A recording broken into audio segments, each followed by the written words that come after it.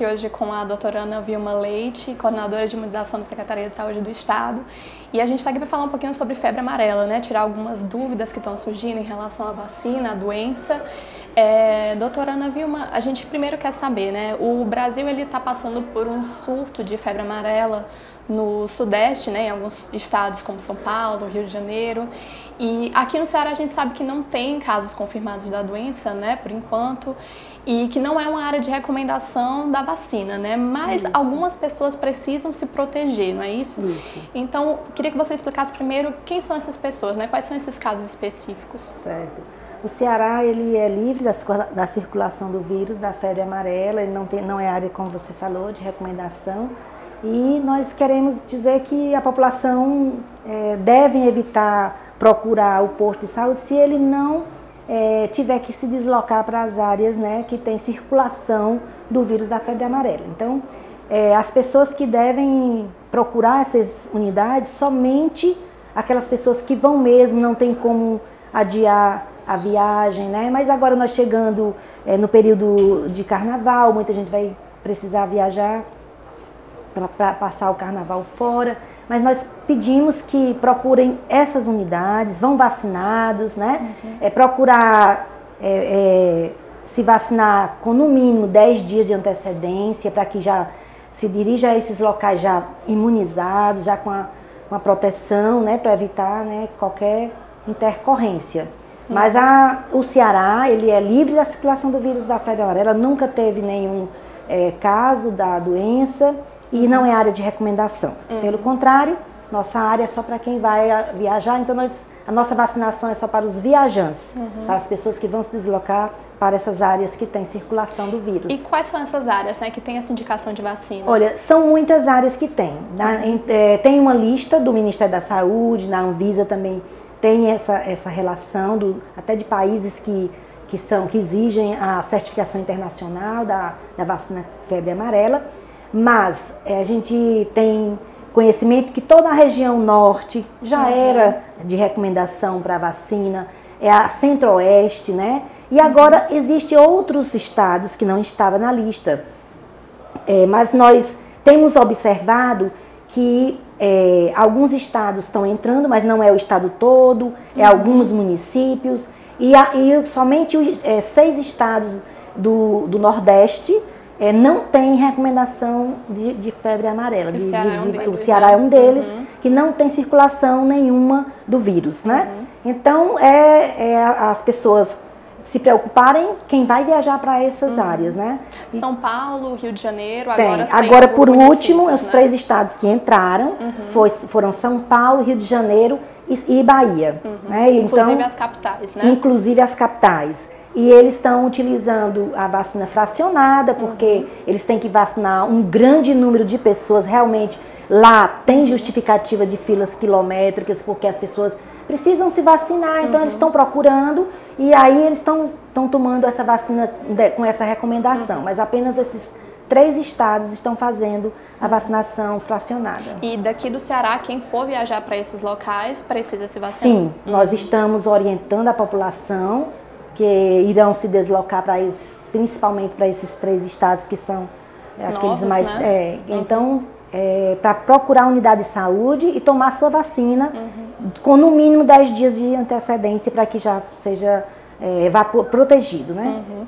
É, doutora, essa grande demanda né, que houve aqui no estado pela vacina, as pessoas estavam com dúvidas se precisavam ou não, é, acabou gerando essa, esse encerramento do estoque né, temporário. A gente queria saber como é que está essa situação agora. Os postos voltaram a oferecer essa vacina? Na verdade, nós não temos a falta da vacina. Uhum. É porque a vacina febre amarela é uma vacina especial é uma vacina que ela tem que ser trabalhada diferente.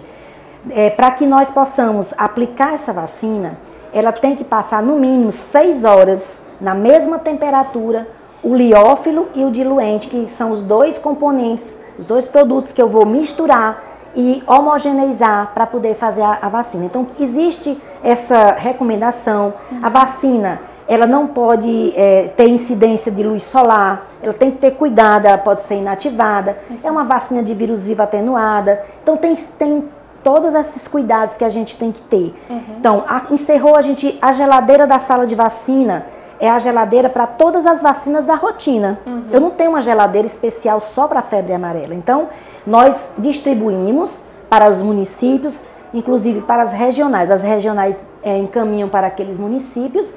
Por exemplo, Fortaleza, nós encaminhamos direto para Fortaleza também. E Fortaleza, através da sua rede de frio, encaminha para os, as unidades que são referência uhum. para a febre amarela. E aí, nós não podemos também liberar um quantitativo muito grande de vacina. Nós temos que pensar que nós temos que oferecer para a nossa população uma vacina de qualidade.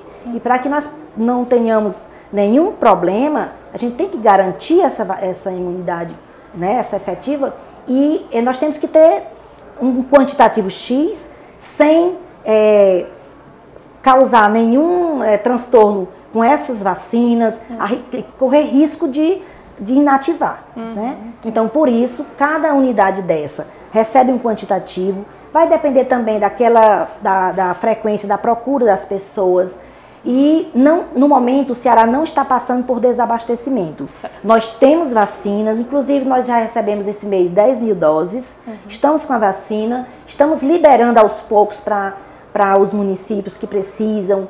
E, e, eu queria tranquilizar a população de que é, existe toda essa recomendação de, de repassar aos poucos para as unidades de saúde, aquelas que, estão, que são referência. Por quê? Porque é uma vacina diferente. Uhum. Eu não posso tirar ela de imediato ali da geladeira e fazer se eu não tiver com tudo organizado previamente, né? Uhum. Então, nós precisamos, para garantir essa vacina e dar uma, uma resposta satisfatória, nós precisamos ter muita responsabilidade com, aquele, com aquilo que a gente está fazendo. Entendi. É, Para haver um controle melhor né, de quem está sendo vacinado, está sendo exigido um comprovante né, de viagem para essas pessoas que vão se deslocar para os estados que estão em áreas de risco. Né? Como é que está sendo isso? Sim, nós estamos solicitando que a população que vá viajar para essas áreas que eles levem a passagem, né? Uhum. Para comprovar que realmente eles estão indo para uma área que exige a, a vacinação, para que eles não tenham nenhum problema. E, mas tem também aquelas pessoas que vão de carro, uhum. que não tem como mostrar a passagem. Então, é, a exemplo, o município de Fortaleza, ele está é, preenchendo um documento que eles elaboraram, tipo um termo de de responsabilidade, onde a pessoa diz para onde é que vai e assina esse termo que ela está informando que realmente ela está via vai viajar para aquele local. Né? Então, uhum. não é, é uma exigência que a gente, a gente pede que a pessoa leve o, o, a passagem, tanto pode ser de avião, de ônibus, mas também nós não, nós não vamos negar uma vacina a uma pessoa as famílias vão viajar uhum. e precisam da vacina. Então a gente é uma forma que a gente é, reconheceu que nós temos que ter outra estratégia para quem não tem como comprovar através da passagem, uhum. né? Mas cada um tem a sua responsabilidade de informar se é verdade ou não. Entendi. E você comentou no início da entrevista que precisa ter um, um período de 10 dias de antecedência, Isso. né, até a viagem. Por que, que é importante respeitar esse prazo? É, esse prazo é o prazo que o organismo tem para produzir o anticorpo, né? E me dar proteção contra a doença. A vacina é uma vacina de vírus vivo atenuada, uhum. ela vai é, estimular o meu sistema imunológico a, produzir, a produzir o anticorpo que vai me dar proteção contra a doença. E para isso, o meu organismo leva em torno de 7 a 10 dias para estar pronto, uhum. para que eu não adoeça se eu tiver, é, se eu for picado por um mosquito e que seja esse mosquito contaminado pelo vírus da febre amarela. Uhum. É, alguns países né, que exigem essa vacina, eles barram as pessoas, no, chegam a barrar as pessoas no aeroporto, né? Sim. Se não tiver esse período específico, né? Sim, eles eles estão, algumas pessoas têm falado uhum. que a própria Anvisa ela se preocupa com isso, porque mesmo que você tome a vacina e que se não fizer aqueles 10 dias, aqui dentro do Brasil não, porque eles não estão pedindo a exigência, é, só entra no, no, no, estado ou no município se tiver a vacina. Uhum. Mas em outros países, eles que exigem a certificação internacional, eles tem que, que ter aqueles dias para que não haja nenhum uhum. transtorno. E, e, eu tenho é, informações de que a Anvisa pergunta sim quantos dias, né, pela comprovação do cartão de vacinação, é, se fizer 10 dias, porque senão ela não vai dar uma certificação de que você está protegido se você ainda não está naqueles 10 dias que você tomou a vacina. Uhum. Você pode ir, é, vamos dizer, com 3 dias de tomar vacina, você não está protegido, né? Então a gente orienta as pessoas que vão mesmo viajar e que, se não der tempo, é, os 10 dias, porque às vezes a pessoa procura a, a unidade de saúde quando falta poucos dias, às vezes acontece naquele momento que ele procurou a unidade, acabou a vacina, só vai chegar no outro dia. E tem, então, é, e com esses probleminhas, vai que ele vai viajar e não tem os 10 dias. Então a gente pede que ele mesmo vacine, que a gente é importante a vacina, e que ele tenha cuidados. Uhum. Passe repelente, evite adentrar matas, né? Os parques, a fazer trilha, tomar banho de cachoeira, essas coisas nos primeiros 10 dias que ele não tem proteção. Então usar roupas de manga comprida, calça comprida, mas dentro da área urbana não existe essa, esse risco. Só se eles forem adentrar a mata, uhum. fazer essas trilhas e onde tem o mosquito. Eles vivem na mata, né? Entendi. Então é o ciclo silvestre, não uhum. urbano. É uma dúvida que chegou aqui para a gente pelo Instagram do Diário é sobre as pessoas que vão viajar para regiões, para outros países que não precisam da vacina, mas que vão fazer conexão ali em São Paulo, no Rio de Janeiro, nas capitais certo. que agora precisa, né? Sim. Como é que faz nesse caso? Não tem indicação, não. Uhum. Quem fica só ali é, vai fazer uma conexão, vai fazer, é, não sai é, para lugar nenhum, não existe essa recomendação que você tenha que tomar vacina por conta dessa situação que ela vai para outro, pra, vamos dizer para os Estados Unidos que ou, que não pede nenhuma exigência. Uhum. No entanto, ela vai fazer escala em algum lugar ou conexão. Não tem essa recomendação nem tem esse risco uhum. de contrair a febre amarela por conta porque ela não vai vacinada. Entendi. Porque se a gente tivesse a certeza de que as pessoas não iriam sair da própria é, capital ali, né, ou, da, ou, da, área urbana, uhum. não haveria tanto risco. Mas Sim. o importante é que ela diz, não, eu vou, eu vou a trabalho, eu vou ficar só no hotel. Não existe risco. Mas, de repente, surge a, assim, a, a necessidade, necessidade de conhecer algum lugar, ou então a oportunidade. Então a pessoa esquece que tem febre amarela, é termina, verdade. vai estar num lugar de risco uhum. e não tomar a vacina. É verdade. É, outra dúvida também que tem chegado muito para a gente é em relação às faixas etárias, né? Sim. né? É, essa vacina ela tem algumas contraindicações para pessoas acima de 60 anos, não é isso? Tem sim. Mas quais são as faixas etárias que podem tomar e quais são essas contraindicações? Tá, é, a vacina é uma vacina, como eu já falei, de vírus vivo atenuado. Então, por isso, nem todas as pessoas podem tomar, porque ela vai fazer uma replicação do vírus e, e pessoas que têm uma condição clínica especial, que têm um é, uma comprometimento do sistema imunológico, ele vai pode ter problemas. Então, a faixa etária das pessoas que podem tomar vacina é de 9 meses uhum. a 59 anos. Isso é, para quem vai viajar ou então áreas endêmicas que tem que vacinar a sua população né, residente. Uhum. E para a gente também vacinar, é, a, na, no caso é, da necessidade, a partir de seis meses a criança já pode tomar. Mas no caso de ter circulação, de ter risco, não é o nosso caso. Mas essa vacina ela não é válida como a, a dose mesmo é, para toda a vida, porque ela vacinou antes da data preconizada, da idade preconizada, uhum. porque ao no, aos nove meses é a idade preconizada para iniciar, inclusive nas áreas que tem circulação do vírus, as crianças começam a tomar vacina aos nove meses e vai, pode tomar até os 59.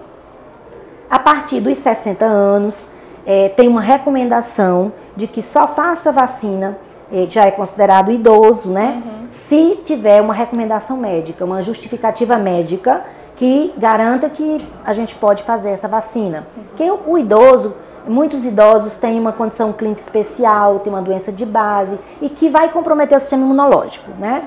É, outra, outra situação também que a gente tem que ter cuidado, a gente não pode vacinar gestantes, né? É, as gestantes, quem mora nas áreas de risco, eles fazem, avaliam o risco e o benefício, aí lá eles vão analisar. Mas nós aqui não tem necessidade de vacinar, é, porque ele, ela, se, se ela tem risco enquanto gestante, então ela, é, é de, a gente orienta que, que, que não vá. Uhum. Preferência evite ir naquele período mais crítico, né? É, crianças menores de seis meses também uhum. não pode tomar vacina. É, pessoas com doenças crônicas. Pessoas né? com doenças crônicas. É, é, e outra coisa, assim, pessoas que tenham é, esteja na vigência de um câncer, que está fazendo quimioterapia, que está fazendo radioterapia, que aí tem a imunidade comprometida, HIV, AIDS, é, quem tem lupus, são é uma série de, de, de, de condições clínicas é, que comprometem o sistema imunológico, doenças neurológicas, uhum. então que tem quem contraindicação, uhum. é, quem tem alergia ao ovo, porque a vacina é produzida a partir da proteína do ovo. Então, quem tem alergia ao ovo não pode tomar. É, né? uma pergunta que chegou aqui pra gente foi a respeito de diabetes. Diabetes não, não tem contraindicação, mas é, tem que ver porque a doença ela afeta todos os, os órgãos, né? Assim, a pessoa é, é, tem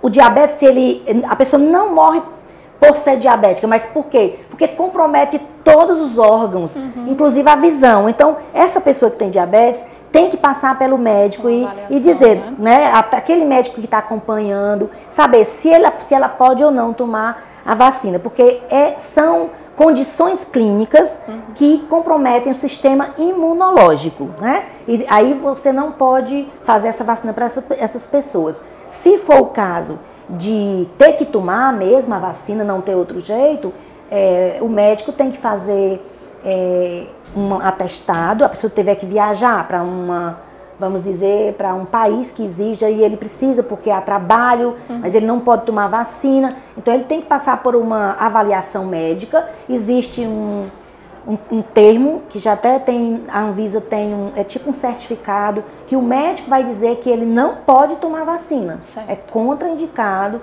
Então, mas tem que tem que ter todo esse essa documentação uhum. para que o paciente, a pessoa possa viajar sem tomar vacina, né? Entendi.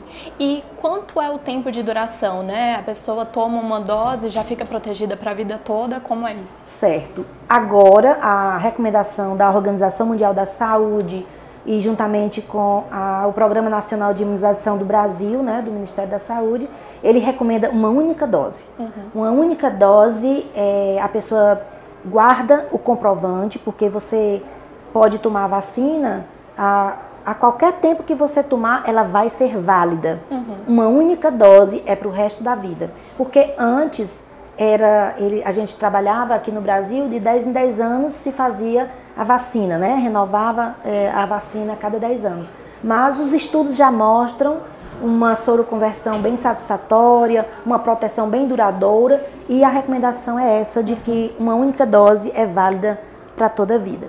A pessoa que lembra que tomou, mas não tem o comprovante, é. É, como é que ela faz quando chega no posto? Infelizmente, nós não damos cartão uhum. é, para as pessoas que têm informação verbal. Uhum. Porque ela pode estar tá confundindo com outras vacinas, ela pode estar confundindo, confundindo até com medicações injetáveis. E nós não temos a certeza absoluta que ela tomou essa uhum. vacina. E aí, no caso, e, infelizmente vai ter novo. que tomar de novo. Então a gente uhum. tem que orientar as pessoas que o comprovante vacinal é fundamental. Uhum.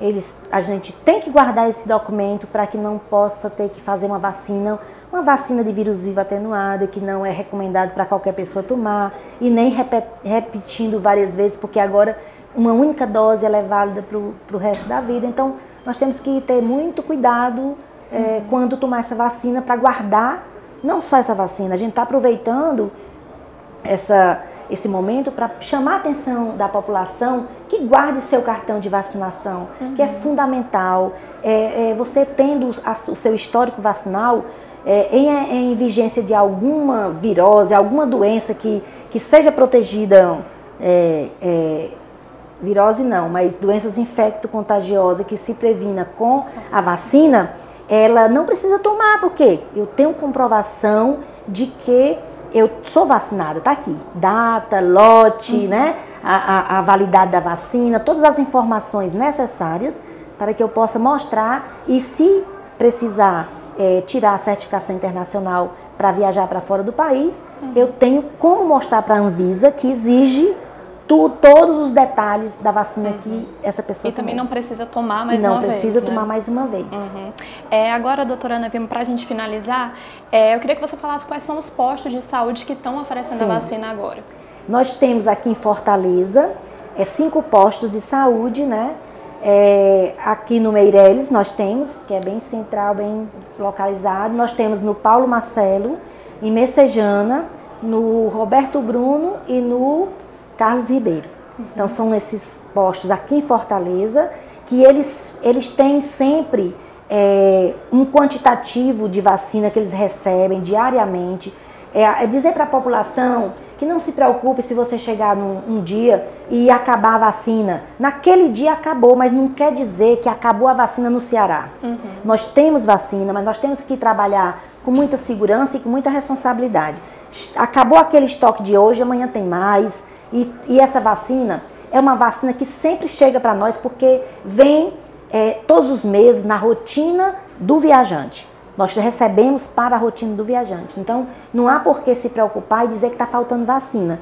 Eu não posso é, estar vacinando todo o tempo, uhum. porque é uma vacina especial e nós não estamos em campanha. Sim. É uma vacina que vai tomar na rotina dos viajantes, né? Uhum. Então, por isso que algumas pessoas podem estar reclamando que chega nas unidades e com certeza não não é bom a gente chegar na unidade e, e, e não ter a vacina que a gente está precisando. Mas eu gostaria de dizer que não se preocupe, porque nós vamos abastecer é, as unidades, os municípios e, e, as pessoas vão tomar a vacina. Agora, eu gostaria de pedir à população que não se dirija aos, às unidades de saúde se não vão viajar para esses lugares que exigem essa, essa vacinação. Uhum. Porque o Ceará não tem circulação do vírus e não tem necessidade de fazer vacina, porque não tem risco, não tem doen a doença não, não está aqui no Ceará. Então, é, e dizer que o Ceará também, nos municípios do interior, nós temos a vacina também, né? Não precisa você se deslocar lá do Crato para Fortaleza para tomar uma vacina, uhum. se você vai viajar. Então, se dirige ao seu município, à sua secretaria, que porque a vacina vai através das regiões de saúde e as regiões de saúde vão distribuir para os seus municípios da área de abrangência. Uhum.